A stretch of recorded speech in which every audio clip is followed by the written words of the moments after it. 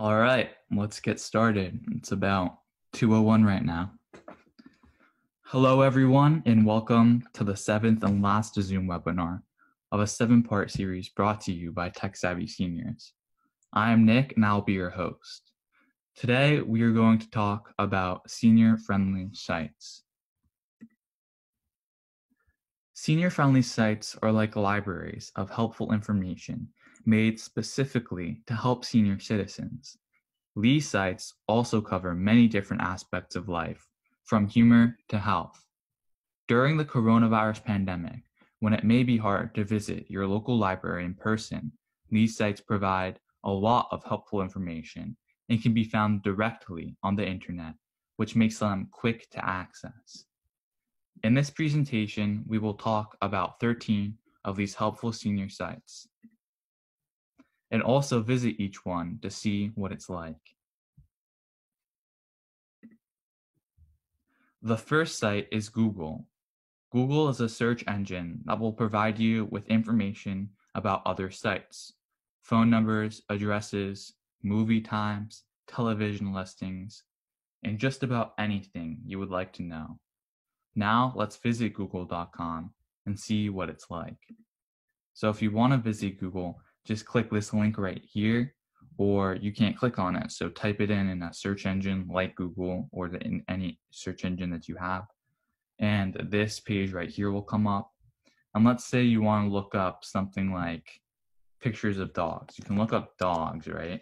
And just click that into the search engine and you'll be brought to a page that looks like this.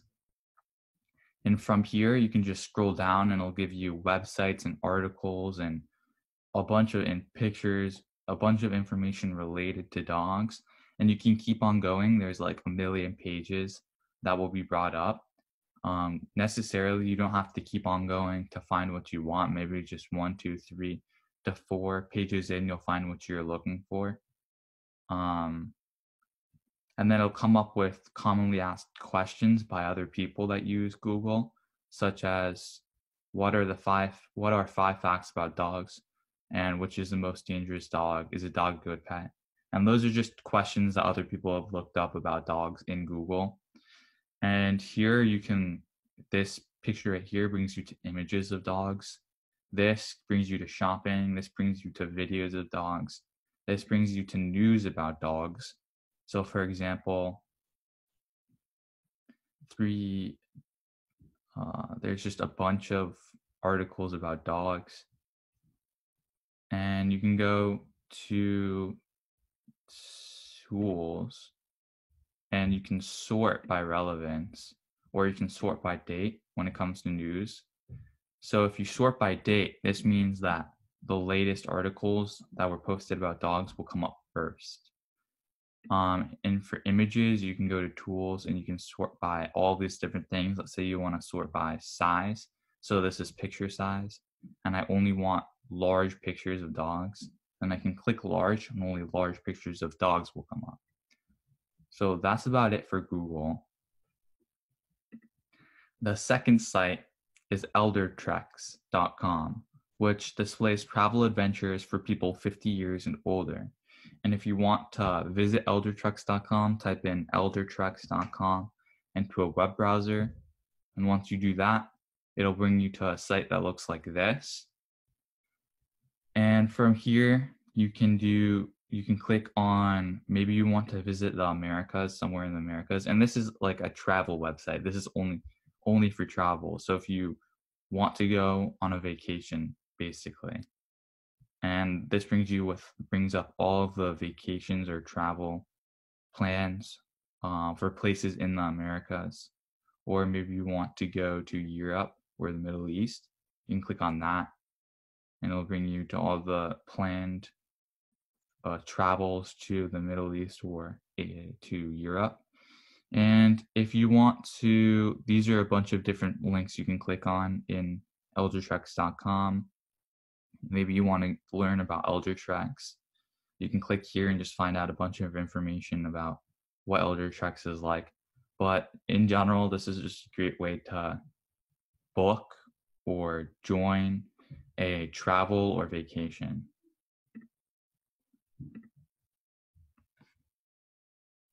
The third site is seniorlaw.com, which provides legal information for seniors on subjects including health, insurance, estate planning, and the rights of elderly and disabled. So if you want to go here to this website, again, just like the other ones, you just type in seniorlaw.com into a web browser and it'll bring you to a site that looks just like this. And from here, you can, all of these places direct you to different areas on seniorlaw.com. And They have their like news, breaking news right here. And click on seniors. It'll bring you to this, which is information for seniors. Uh, they're advocates and other professionals. So this is like the senior part of the of the website. And let's see. So yeah that brings you to the same place. And if you want to like learn about the different uh, people on seniorlaw.com like the attorneys essentially click here and see all of them. And then that's about it for for seniorlaw.com The fourth site is microsoft.com slash enable slash aging slash tips slash ASPX. Uh, I know there are a lot of dashes there, but feel free to screenshot or write that down somewhere to remember. I'll take a second so you can do that if you want to access this. Um, usually links don't have all those weird dashes and stuff. You can usually just type in something quick like google.com, for example, and it'll bring you right to what you're looking for. But this in this key scenario, uh, there's lots of slashes and dashes, which makes it a bit inconvenient. But if you get the, if you type it in correctly, then it'll bring you to where you want to go. So again, type this into a web browser and it'll bring you to a site that looks like this. And there are a bunch of different like sections of this website that you can click on and explore. So for example, if you want to learn about vision, you can click here and it'll bring you to a bunch of different articles and things to learn about vision. Uh, for example, like experience maps and 3D sound. That seems very complicated. So maybe, I don't know, maybe if it's too complicated, you don't want to look into it, but there's definitely a lot of information here. Like mental health, maybe, minimize visual distractions, just a lot of information and article. So if you want to learn more about maybe minimize visual distractions, you can click on this and it'll bring you even deeper into the website and more specific information. So that's about it for Microsoft.com. The fifth site is aarp.org, which includes tons of information and articles on health, cooking, shopping, discounts, travel, insurance, and all other important uh, topics. So if you want to access AARP.com, click on AARP.com and it'll bring you to a site that looks like this. This is the home screen. So these are just a bunch of articles. And from here, you can just click on one that interests you. So let's see. Maybe how to prepare for natural disasters. Um, so this is just an article that'll help you prepare for natural disasters. So you can learn about that. And the, the topics on this site range from from like uh, there's a very large range of topics on this website essentially. So you can learn a lot from AARP.com. And you can also make an account. We won't go over that right now, but if you're a common user of AARP, then you can make an account, register, and it'll offer you different and unique things compared to just viewing it without an account. And uh, see up here, you can direct yourself to different articles. So, very good website. I would definitely recommend this one.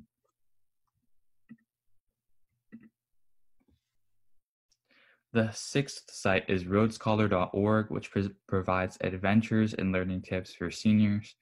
This is kind of like eldertreks.com, but more focused towards the tips section or like learning about adventure.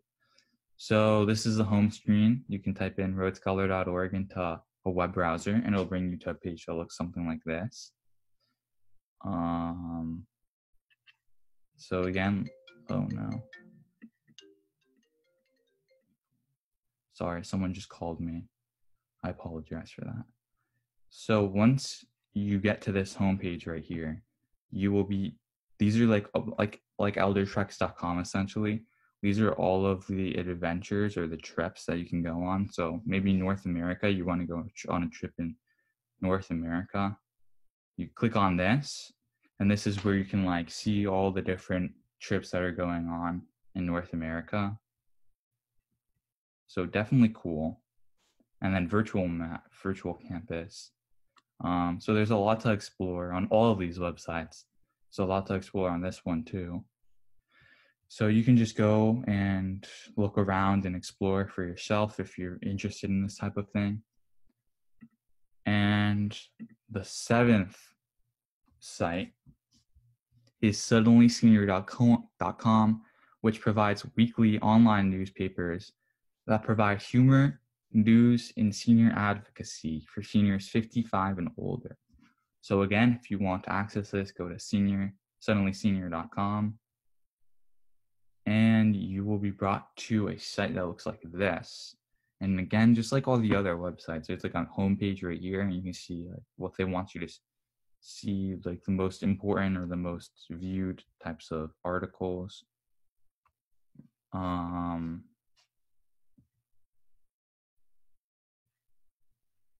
so you can just scroll through and look so maybe you want to go to senior jokes. These are a bunch of jokes for seniors. So let's just read one. The best old jokes, funny jokes. If you're in need of a laugh, you've come to the right place. Okay, so let's go to more.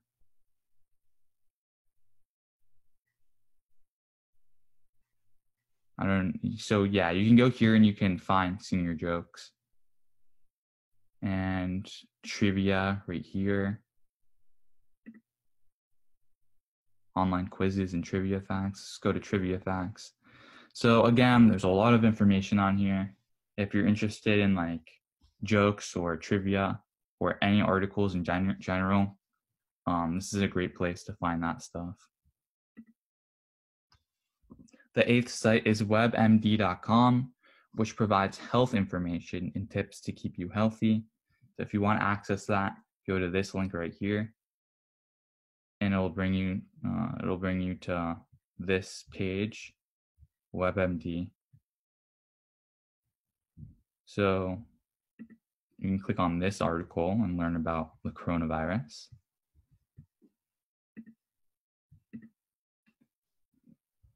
The ninth site is mayoclinic.org which is a great medical info base that provides basic information about health issues.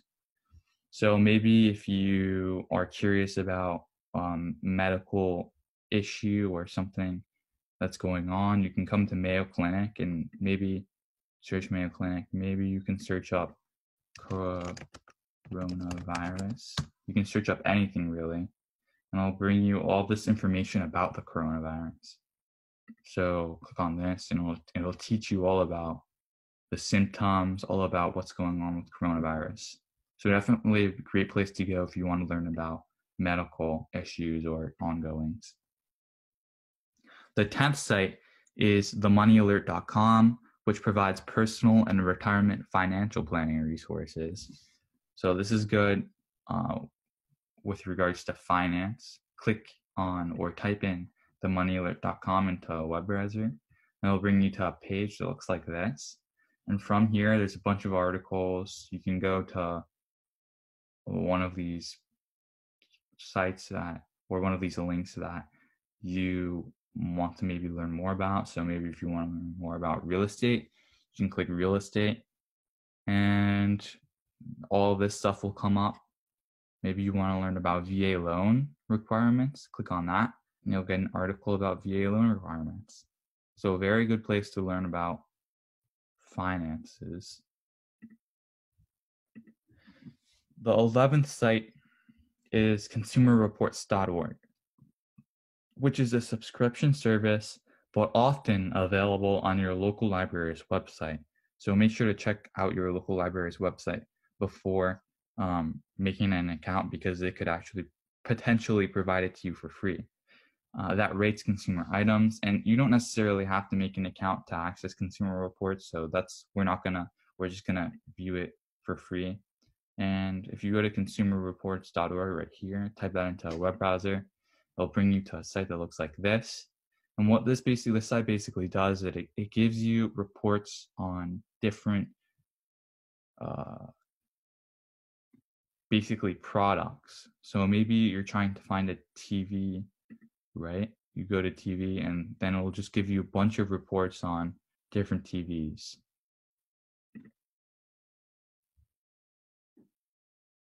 Right here. The 12th site is nia.nih.gov, and this is a national, and this means the National Institute on Aging, and this is the National Institute on Aging's website, and it contains valuable articles and information on issues relating to health. So we've gone over like two or three other uh, sites that cover health, and this is just another one. So you can go to and this link right here, you can type that in to a web browser, bring you some somewhere that looks like this. And just like all the other websites, it has a home page, has articles right here. And the search bar right here, you can look up something that you're curious about. So let's say you're curious about the coronavirus again, type in coronavirus. And these are all articles about the coronavirus. So you click on that and it'll bring you to this article right here talking about the coronavirus. So a great place to learn things about medical ongoings. And the 13th and last site is your local library's website, which will contain a lot of information and also allow you to access digital books and other resources that may cost money. Your library may be able to provide those to you for free. Uh, and it's also just a great hub to be able to go to free and subscription based sites and information databases. So definitely check out your local library's website. There is no link to this because it'll change depending on where you are, where you where you live. So if you want to look up your local library's website, just look up the town that you live in and library in a web browser, and what will come up first will likely be your your local library's website or web page. So definitely check that out.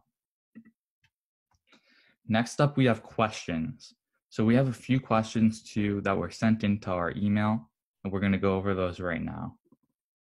The first question is Are there any sites that provide scholarly articles? So this is a great question. Um, the sites that we talked about, those articles are definitely uh, they're definitely good places to learn from. However, scholarly articles, uh, those can be found. Actually, you can go to Google, Google Scholar, and I'll show you how to do that right now. Uh, so if you go to, let's just go here.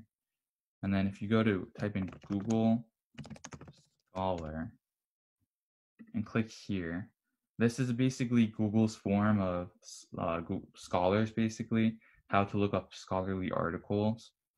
So if you type in coronavirus, a bunch of scholarly articles on coronavirus will come up. And from here, you can just click on whatever one you want to. So another decade, another coronavirus. And then this is like entirely a scholarly article about coronavirus.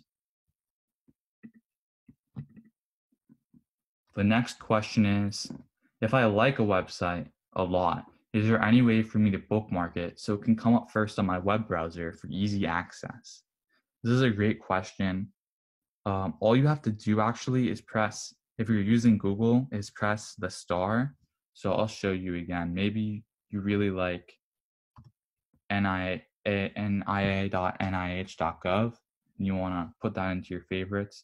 All you have to do is click the star right here and click done or you can name name it whatever you want, but I'm going to keep it the same name. And what it'll do is it'll bring you, it'll put that site right here. Um, and this is basically your favorites. So you can easily access that whenever you come on to Google. And it's a great way to keep track of all your favorite sites. So mine, that's this didn't come up, NIH.org didn't come up because I already have a lot of sites already favorited. But if I wanted, if I didn't have any of these sites favorited, it would come up right here.